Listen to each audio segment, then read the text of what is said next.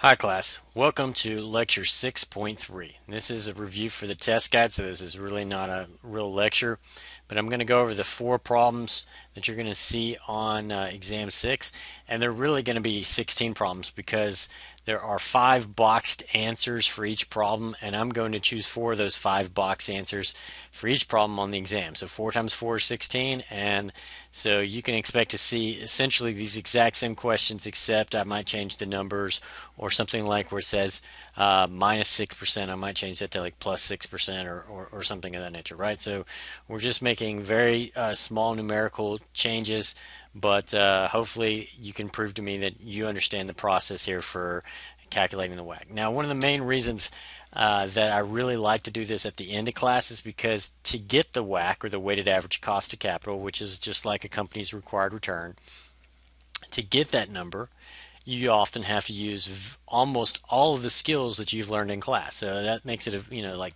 a very good climax or finishing point for the class because it puts all of your tools or all of your skills to use. All right. So with that being said, let's get down to business. Let's take a look at the first one. Now you're going to be given a lot of information here about a company called Around Town Tours. You'll see that you have debt information, common stock information, preferred stock information, and then some general market information. Okay. Now I'm not going to go through there and read each one of those, uh, but I'll, let's just go ahead and say that you've got the information you need. Now, when you get down to it, though, it says calculate the WACC for this firm. Okay, so to get the WACC for around town tours, you're going to actually have to go through several steps. The equation for a WACC you'll see in step five, and that is weighted average cost of capital equals the weight of equity, so the percentage of the company that's financed with common stock, plus I mean times the cost of equity, which all of these costs are essentially just a return, a percentage, right? Um, for time, so the weight of equity times the cost of equity plus the weight of preferred stock times the cost of preferred stock plus the weight of debt times the pre-tax cost of debt times 1 minus t. You could also write this that last part as the weight of debt times the after-tax cost of debt if you knew the after-tax cost of debt, which you will see a problem uh, like that on the test guide, and I will point that out to you. Okay, but it's not this problem. So, um, first thing you want to do is figure out what's the overall value of this company.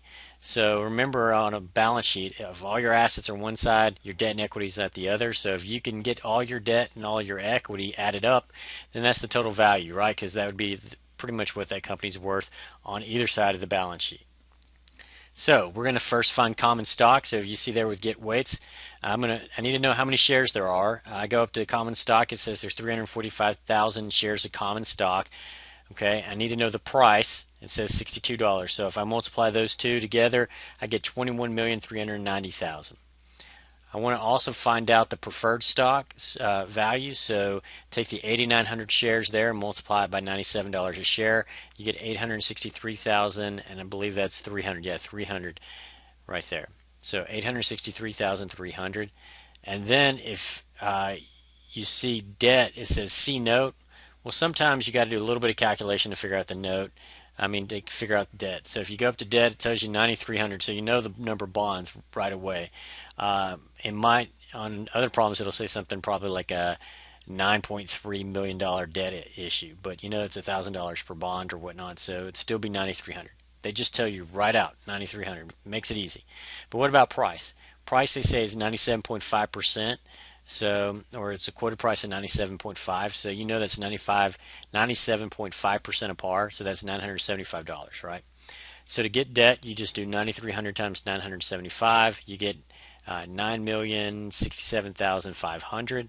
So if you add those, all three of those up, common stock, preferred stock, and debt, you'll have a total value of 31,320,800 dollars. And so that's the total value of the company. If you go back and divide each one of those by the total value, uh, so for example, for equity, if you take 21,390,000 and divide it by 31,320 uh, $31,320,800, then you will get what's known as the weight of equity, right? Because we're just we V is like our total pizza pie, and we're trying to see how to break up that pizza pie um, or pie chart or whatnot for each one of these different weights. Okay. Now, once you do this, uh, you know you do total equity over total value for weight of equity. You do total preferred stock over total value for weight of preferred stock. Total debt over total value for the weight of debt. You're going to get different weights here, and uh, looks like you know 68%, around 3%, and around uh, 29%. So if you add all of those together, you should get 100%. Or, you know, if you keep it in decimal form, it should add up ex- almost exactly to 1, right? If you notice, I'm carrying this to six digits. The, you know, you don't have to do any more than six, but if you do it, you need to do it at least to four. If you got to, the more digits you do this to, the, the closer your answer will be, um, closer you'll be to the correct answer on the exam. All right. So don't round too much here, and that's that's for pretty much all the problems here. Okay. So there's your total. There, there's your total value and the different weights. Okay. So you've got like pretty much half of the WACC equation already knocked out. But now you need to go through here and get all of these percentages that are look like returns, and, and you can call them returns if you want, uh, like the return of equity, the return of preferred stock, and the return of debt. But the traditional language is to call those cost, right? Because that's how much they cost, right? So um, what we will do here is look at equity first. Now, with equity, sometimes they'll give you information to, figure it out using the CAPM, which we've all done, or using the dividend growth model, which we've all done. If they give you information, and it's important that you know this, if they give you information to do it both ways, you do it both ways, and then you take an average. Okay? If you don't take the average, it's considered wrong. Okay? At least in my eyes for this exam. Okay? Because you didn't really consider all available information. Now, remember the CAPM, that's when you got the expected return equals risk-free rate plus beta times RM minus RF in parentheses. That's all that, that CAPM is, right? If you look up there under the market, they tell you there's a 3.8% risk-free rate. They're going to tell you the beta is 1.22. Actually, that's actually up in common stock, but nonetheless. And then they're going to tell you the return on the market, if you look back in the market data, is 13.8%. So you just plug those in, right? Everybody know, remembers that what the what the CAPM is. I'll repeat it again. It's, it's the expected return, or R subscript E here, equals RF, which is 0.038, plus beta, which is 1.22, times, in parentheses, the return on the market, which is 0.138, minus the risk-free rate, which is 0.038. Okay, close parentheses. That's all going to equal 16%. The dividend growth model, uh, you can rearrange it, remember, to get uh, the return equals the dividend yield plus the capital gains yield. So that's what we're doing here. And the dividend yield is D1 over P0. Okay, so you take that dividend for next year, which is $3.05 over $62 for the price, plus the 3% growth rate, and you've got very close to 8%. So, to take the average between them, between a 16% and an 8%, you're going to get really close to 12%, right? So that's why I boxed it in, right? That's one of the answers on the exam. All right? Now, to get the cost of preferred stock is super easy. What you need to know is that the um, in the numerator is going to be the percentage times par, and par for preferred stock, par for preferred stock, par for preferred stock is $100, not a 1000 right? Par for a bond is $1,000, but par for preferred stock is $100. So if you look at preferred stock and it says it's 7% preferred stock, that's 7% of $100, so that would be 7 bucks, okay? And then you look at the price, which you, we know uh, just it just tells you right there it's ninety-seven dollars. So seven dollars over ninety-seven dollars is seven point two percent, and maybe a little bit extra digits there, right? So um, that's how you get the return or the cost of preferred stock. Now, to get the cost of debt, this is just uh, one of your normal bond problems using the time value money buttons on your calculator they tell you it's a semi-annual bond. So in this problem, they say it's a 14-year bond. So you're going to multiply one. Sorry, it's a 12-year bond, and you're going to multiply it times two, right? So 12 times two equals 24. They're going to tell you that the um, we are, we've already figured this out in step one, but that the price is $975. So remember, you enter price as negative in your time value money calculator. So that's negative $975. Then you have your payment, uh, that's going to be, if you look up at the debt, it's an 8.5% bond, so that's $85 annual coupon divided by 2 is going to be 4250. Future value is always $1,000 for par. You saw for I, you're going to get 4.4211%, but that's the semi-annual yield to maturity. You got to multiply that by 2. Got to multiply that by 2 to get the annual yield to maturity. That annual yield to maturity is your cost of debt. So in this case, the cost of debt is 8.8422%. Now that you've got those three, you go down there and plug and chug. Um, you're going to multiply obviously the weight of equity times the cost of equity and the weight of preferred stock times the cost of preferred stock and the weight of debt times the cost of debt but be careful that cost of debt also has is the pre-tax cost of debt so you have to multiply that by 1 minus t as well and in this case if the tax rate is 32% that would mean you need to multiply that by 68% okay so put all that information in the equation the right way add those three different uh, sections together and you're going to get 10.11% for the weighted average cost of capital. Isn't that amazing? Now that was just a whole lot of this class all wrapped up into one problem. I think it's fantastic and that's why I save it for the final exam. Now the next problem, Casper's, is probably the most difficult problem on the exam. Okay, now since there's only four, it's not saying much, but it's a little bit more complicated because it has an extra step where you take it to get the you know actual NPV of the project using the WACC. Do I think it's that hard? No, not really, but you do want to pay attention and make sure that you you know follow all the little bitty directions here. Okay. So Caspers is analyzing a proposed expansion project much riskier than the firm's current operation. Thus, the project is going to be assigned a discount rate equal to the firm's cost of capital plus 5%. So, what that means is that we're going to find the WACC, and then that's going to be the WACC for the company. But we need to also find a project WACC. And so, in this case, they're going to add 5% because this is going to be a riskier project than what the company would normally take on. And so that you can make adjustments for WACCs for specific projects. Maybe this uh, one project is going to be safer than what the company normally does. Um, so you might adjust the WACC, but using minus 5%, right? But in this case, it's riskier, so you're going to add 5%. Now, they're going to tell you that the initial cost here is 27.2 million. That's something that you're going to use when you're getting the NPV, and you're going to depreciate that on a straight line basis over 20 years. Okay, that's basically telling you that it's going down to zero. Uh, the project also requires additional inventory of $987,000 over the project's life.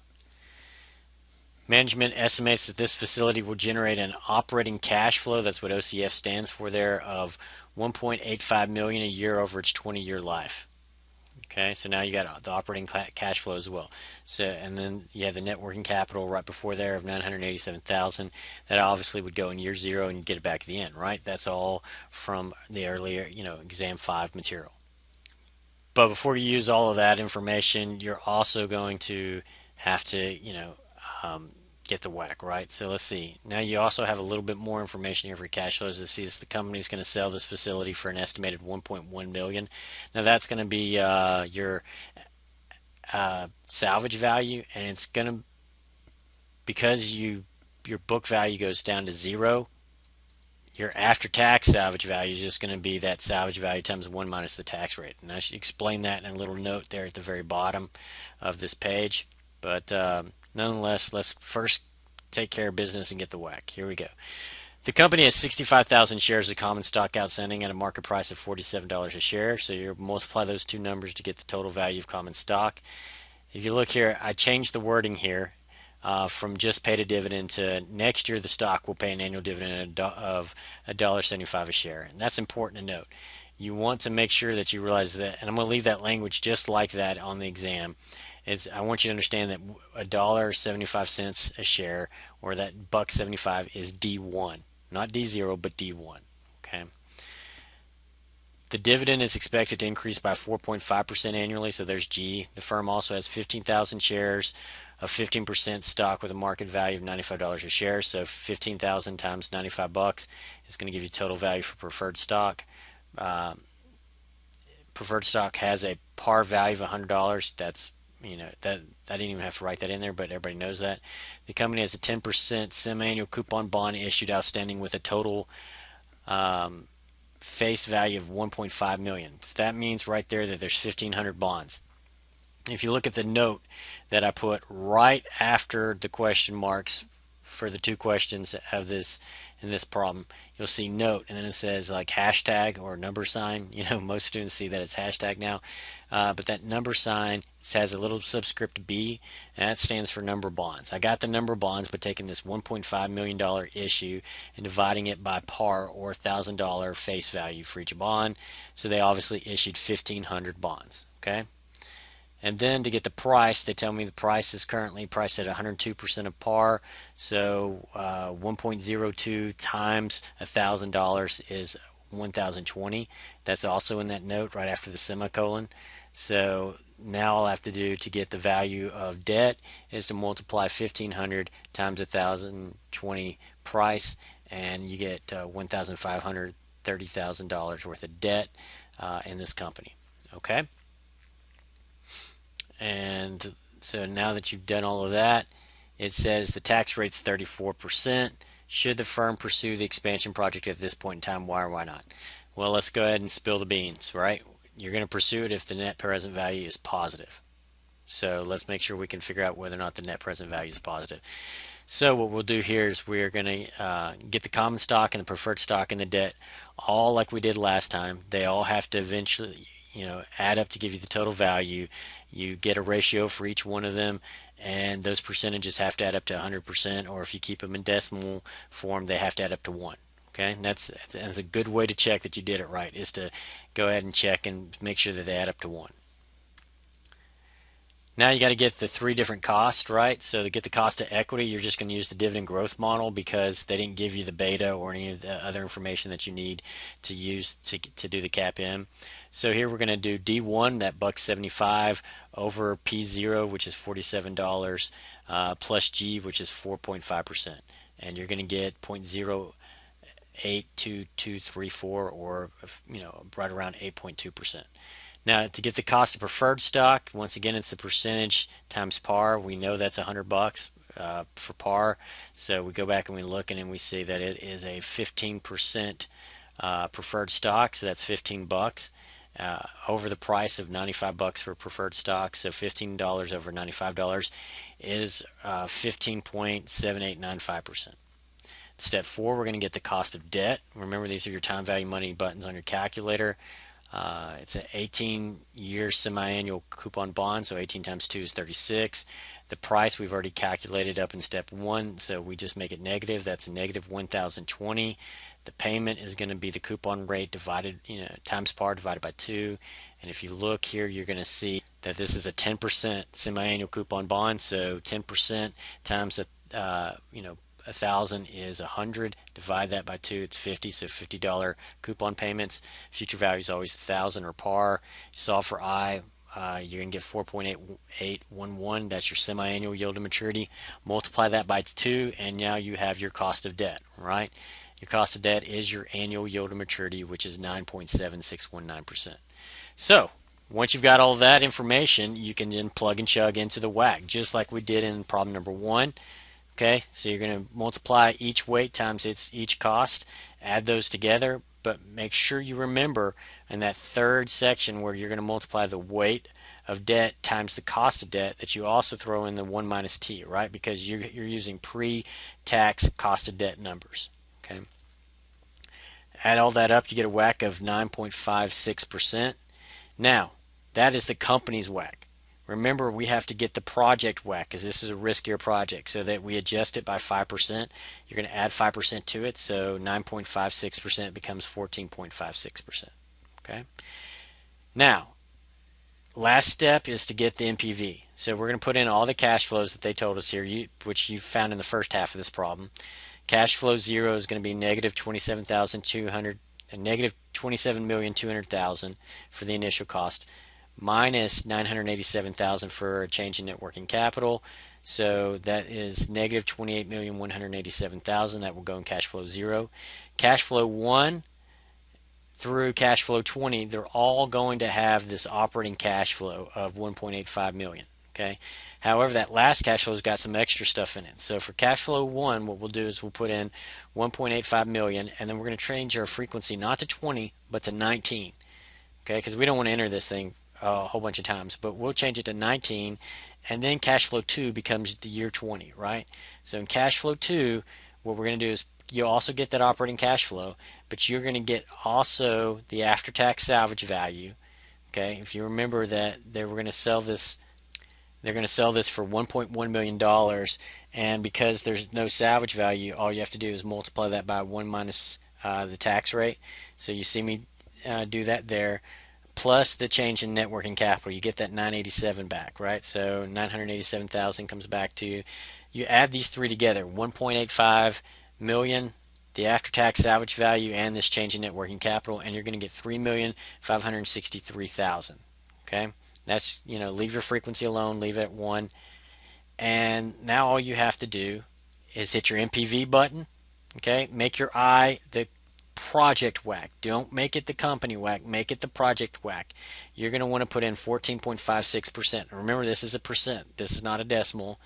And then you're going to hit the down arrow, hit NPV, and hit compute. You're going to get this whopping negative number, negative $16,208,978.40. You know, negative 16 million or negative 5 bucks, whatever, it's negative. So you're definitely going to uh, reject this project, right? And so that that would be another answer on the exam. That's a pretty big problem. You see, I just used a whole lot of stuff that we've been working on, uh, pretty much from uh, exam two and on, and probably even exam one if you want to just you know throw in some understanding of some basic uh, accounting concepts. So that's a wonderful problem, and it shows you kind of how the WACC brings everything full circle to where you can understand that uh, all of these math equations that we've been learning about are not just relevant for investments, but they're relevant for companies too. So you can take that those tools with you in your toolbox when you go out on the job market. Now here in problem number 33, uh, I mean problem number three, number three and number four are actually a little bit easier in my opinion than number two. It's just that they require a little bit less work because you don't have to go get the weights. Uh, the weights are pretty easy to figure out from a very important concept that you probably learned in exam one, which was that you know debt to equity. So let's take a look. Weiser Industries has two separate divisions. It's got a division X, which is going to give a discount rate of minus one percent. Now, why would it do that? Because it's a little bit safer. And division Y has more risk, so it's going to tell you to add two percent to the WACC. No big deal. Company has a debt to equity ratio of 0.35. That's great because you can figure out weights from a debt to equity ratio and a tax rate of 30%. 30%. They go ahead and flat tell you the cost of equity, no having to figure that out. And then look, they're even super nice here. They give you the after tax, after tax cost of debt. So you don't even have to multiply by 1 minus t when you plug this into the WACC, okay? Uh, of 4.1%. And then it says presently each division is considering a new project. Okay, so they both have different um, internal rates of return that they're expecting to get, right?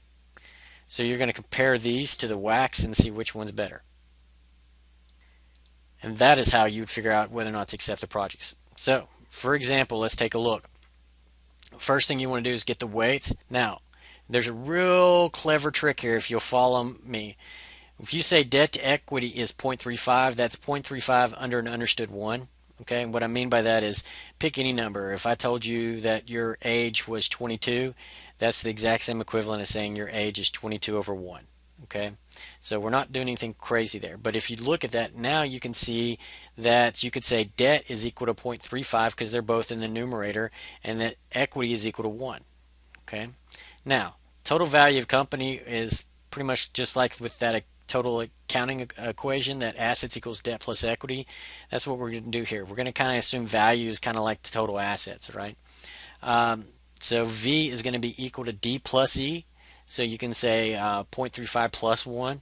And so the total value in this company is going to be 1.35. Now, you're doing this because now that you've got a number for V, you can get a ratio, right? The weight of debt is D over V and the weight of equity is E over V. So for the weight of debt, you would do 0.35 over 1.35, and for the weight of equity, you're going to do 1 over 1.35. You get these two percentages. This case, it looks like 26% and 74%. You add them together, you're supposed to get 100%, right? But look how fast. That was so much faster than the first steps in problem uh, 1 and 2. Okay. Now to get the WACC, you can also got a little bit of shortcut here. You may have noticed that we're not dealing with any preferred stock. So this, um, if you had preferred stock, and then this debt to equity trick, it wouldn't really work out very well. But in this problem, it works out well because there's no preferred stock. And so you just take the weight of equity times the cost of equity that they give you, which is uh, 11.7%, plus the weight of debt um, times the after-tax cost of debt. Okay, and since there's the after-tax cost of debt, you just have to throw in this um, 4.1%. You don't have to multiply that by one minus tax rate. Okay, so do the multi- multiply those numbers for weight for equity first and multiply the numbers for debt first and then add them together you get the WACC 9.73% right now in steps three and four go ahead and make a quick adjustment for X uh, or project X. The WACC is going to be 1% lower so that's 8.73% for project Y it's going to be 2% higher so that's 11.73% you're going to have to compare those numbers to the to the IRRs that you're expecting to get for those projects, right? So if you're supposed to get 13.6% for project X, then you can see that you're what you're going to get is much higher than what you need, so you'd accept that project. Same thing with project Y. You're going to expect 12.9%, which is much higher than what you need, which is 11.73%. So you're going to accept it as well. So in this case, you're going to accept both X and Y projects. Why? Because their internal rate of returns are higher than what you need, which is the project's weighted average cost of capital. So that's a pretty easy and uh, useful problem. Let's check out the last one. Okay, number four is a very easy problem that combines some of the steps of uh, two and problem three. You're going to end up getting an NPV, but it's a very watered down NPV. Uh, you'll, I think you'll find that it's pretty easy. Let's take a look. Orchard Farm, Orchard Farms has a pre-tax, pre-tax, pre-tax right there, right? So make sure you know that that doesn't mean after tax cost of debt of 6.32%, and a cost of equity of 18.4%. So you don't have to calculate those costs, they've already given them to you. Firm uses uh, a subjective approach to determine project discount rates. Currently, firm is considering a project to which it has signed an adjustment factor of minus 1.5%. What does that mean? Well, when you get the WACC, take a 1.5% off. Uh, the firm's tax rate is 35%, and its debt to equity is 0.45. Okay, make sure that you can see that because I wrote over the top of that. It's 0.45. Okay, that's the debt to equity, which is great because then that makes getting the weights real easy to get, assuming there's no preferred stock, which is what we're going to assume here. Project has an initial cost of 5.8 million, so that's for your cash flows to get the NPV. Produces cash inflows of 1.34 million. There you go. That's also for cash flows to get the NPV. That's it, right? Not not a whole, lot in there. There's no change in net working capital or or um, after tax salvage value like we dealt with in problem two, so this should be really easy, right? What is the net present value of this project? Okay, first thing we're going to do is get the weights. Remember, if you if debt to equity is 0.45, then you can put uh, that as 0.45 over 1 and say debt is equal to 0.45 and equity is equal to 1. You add those two together, you add your debt and your equity together. It's like having the total assets in a company or the total value, right? That's how we're going to get V. So V is going to be 1.45. And if you do D over V, you get the weighted debt. If you do E over V, you get the weight of equity. And in this case, you're going to have 31% for the weight of debt, 69% for the weight of equity. Add those together, that's 100%. Okay. Now, to get the WACC, slightly different than in problem three because we have the pre-tax cost of debt. They did give us pretty much all the information we need, so it is plug and chug. Just be careful. So to get the, the first part uh, for equity, you're going to do the weight of equity times the cost of equity of 18.4%. To get the second part, uh, which is, deals with debt, you're going to do the weight of debt times the pre-tax cost of debt, which if you look up, you'll see that the tax cost of debt is uh, 6.32%. Then you're going to multiply that by 1 minus the tax rate. So yeah, that's where that 65% comes from. Okay, You plug and chug there. You finish up uh, adding all that together, and then you're going to get 13.9646%. So that's the company's WACC, not the project WACC, the company's WACC. You subtract off 1.5%, now you've got the project WACC. Okay, so now that you got the WACC for this company's project, uh, that'll be your I to get NPV. So you'll go to your cash flow buttons on your calculator and you'll change initial cost to negative uh, 5,800,000 and you're going to change cash flow 1 to 1,340,000 okay? And then you're going to change your frequency to 6 years or 6 and that's it okay? Go over to your NPV put in a uh, value for I do your NPV and hit compute now you'll notice that you've got a negative number here. Once again negative 362,452 and make sure that you put in your project's WACC for I. But now that you know that that's a negative NPV, would you accept this project? No, you would not.